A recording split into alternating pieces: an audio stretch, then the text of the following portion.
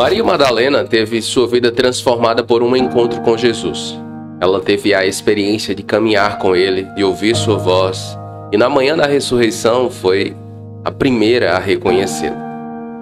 Mas por quê? Porque Maria Madalena mantinha um relacionamento profundo com o Mestre. Seus ouvidos estavam sintonizados com o som de sua voz. Como seria se, em meio nossas responsabilidades diárias, a correria, as preocupações, nós conseguíssemos parar e sentir a presença de Deus conosco?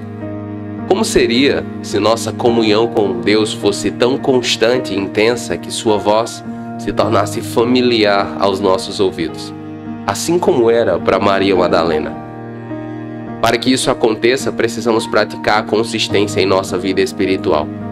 Em um mundo repleto de distrações, é fácil esquecermos de reservar um tempo para Deus. É fácil deixarmos a oração e a meditação na palavra em segundo plano, mas se quisermos reconhecer a voz de Deus, precisamos fazer da nossa comunhão com Ele uma prioridade. É sobre isso que nós vamos refletir na última mensagem da série A Voz de Jesus. Se inscreva no canal clicando no botão vermelho aqui embaixo e ative todas as notificações para não perder nossas próximas mensagens. E fique comigo até o final porque há uma palavra de Deus para você. As minhas ovelhas ouvem a minha voz. Eu as conheço e elas me seguem. Eu lhes dou a vida eterna e elas jamais perecerão. Ninguém as poderá arrancar da minha mão. Quantas vezes nos sentimos como se estivéssemos em uma sala barulhenta, onde todas as vozes se misturam e fica difícil distinguir uma da outra? O mundo ao nosso redor é assim, cheio de vozes que tentam nos afastar de nosso bom pastor. Há vozes de medo, ansiedade, desesperança, mas em meio a todo esse barulho, a voz de Deus ainda está lá, tranquila, pacífica ou estrondosa e enérgica. Para ouvi-la, precisamos cultivar a prática de estar em silêncio diante dele. Silêncio não apenas de nossos lábios, mas de nossos corações. Precisamos aprender a acalmar as tempestades interiores, a dizer ao vento e ao mar de nossas preocupações, aquietai-vos.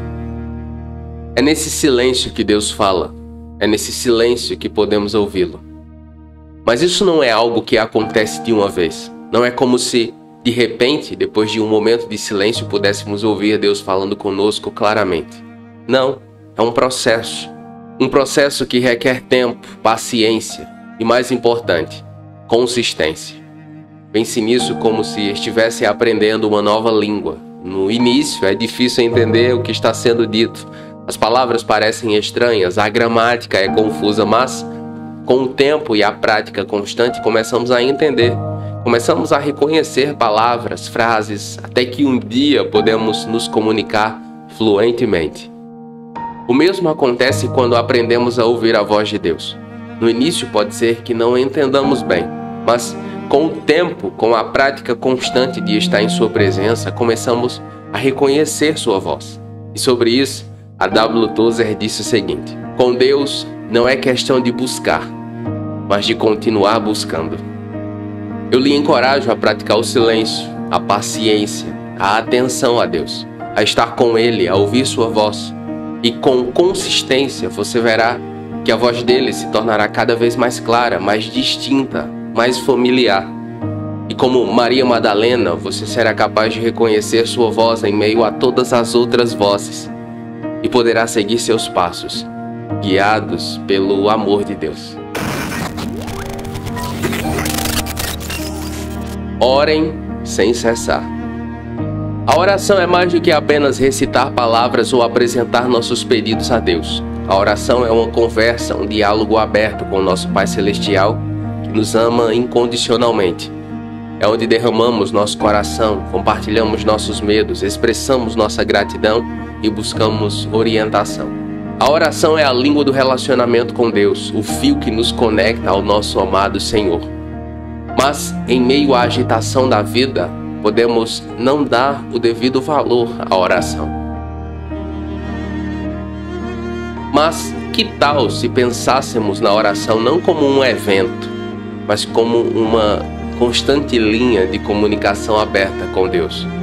Imagine comigo, você está em meio a um dia ocupado de trabalho ou cuidando das responsabilidades do lar e de repente, em seu coração, você começa a falar com Jesus, a agradecer pelas pequenas bênçãos, a pedir sabedoria para uma decisão, a orar por alguém que encontrou no caminho. É uma conversa contínua, uma ligação constante. Não é maravilhoso? Esse é o coração de orar sem cessar. Assim como um bom amigo que está sempre lá para você, Deus está sempre disponível para ouvir. Ele está atento a cada sussurro, cada grito de seu coração. E assim como em qualquer relacionamento, a comunicação constante fortalece o vínculo, enriquece o amor e aprofunda a intimidade. Através da oração constante, podemos experimentar a presença de Deus de maneira mais profunda e real. E sobre isso, Oswald Chambers disse o seguinte: Oração não é pedir, oração é a respiração da alma, é a íntima presença do eu imortal com o eterno. Vamos transformar cada momento, cada situação em uma oportunidade de conversar com Jesus. Assim, através da consistência em nossa oração, vamos aprofundar nosso relacionamento com Ele, vamos sentir Sua presença de maneira mais palpável e real, e vamos nos tornar mais sensíveis à Sua voz, dia após dia.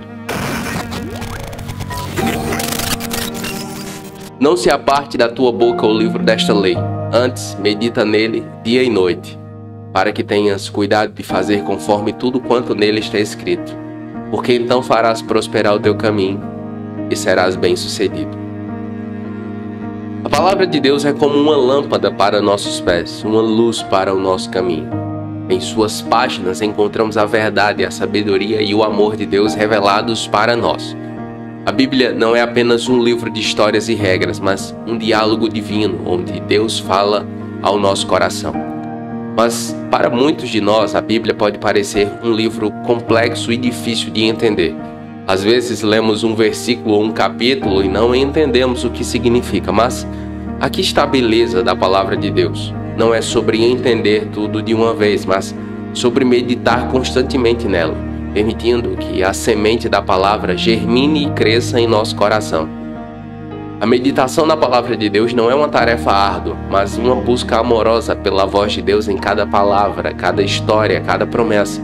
É como sentar-se à mesa com Deus, partilhando de uma refeição rica e nutritiva. É como caminhar por um jardim parando para cheirar cada flor, admirar cada folha, sentir cada brisa.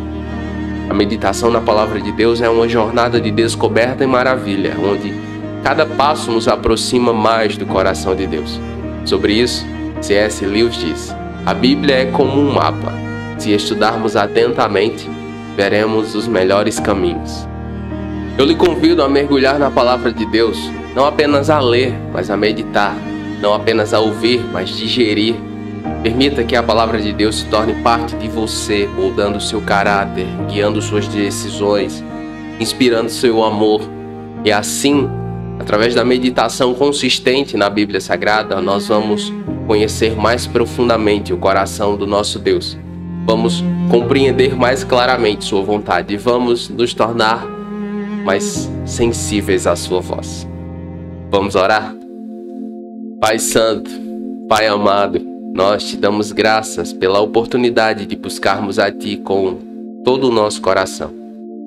Oramos para que possamos praticar a consistência em nossa jornada espiritual.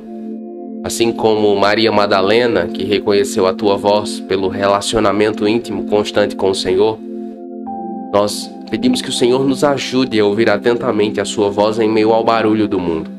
Que nossos corações sejam silenciados para te escutar. Que possamos orar sem cessar, mantendo nossos corações abertos à tua presença e à tua orientação a cada momento do dia. Senhor, guia-nos na meditação da tua palavra, que possamos saborear cada palavra, cada verdade e nos alimentar do teu amor e sabedoria. Que a nossa relação com o Senhor seja sempre consistente e que possamos assim ser mais sensíveis à tua querida voz. Nós oramos ao Senhor crendo, em nome de Jesus. Amém. Eu e Carol esperamos que após essa série você consiga discernir a voz de Jesus. Lembre-se, é preciso tempo, foco e prática para que o seu discernimento seja aperfeiçoado, mas não desista, porque isso pode mudar radicalmente a sua vida. Nós gostaríamos muito de saber o que você achou desta série. Qual foi o sermão que mais lhe tocou? Como esta série influenciou o seu relacionamento com Jesus? Por favor, compartilhe seus pensamentos, suas reflexões e experiências nos comentários abaixo. E se você acredita que essa série pode inspirar outras pessoas, não deixe de compartilhar em suas redes sociais. Lembre-se, cada compartilhamento pode tocar um coração e transformar uma vida. Obrigado por fazer parte dessa jornada conosco. Se você ficou comigo até aqui, escreva aí nos comentários a voz de Jesus. E eu vou saber que você ficou comigo até o final. Eu oro para que Deus abençoe a sua vida. Muito obrigado e até a próxima.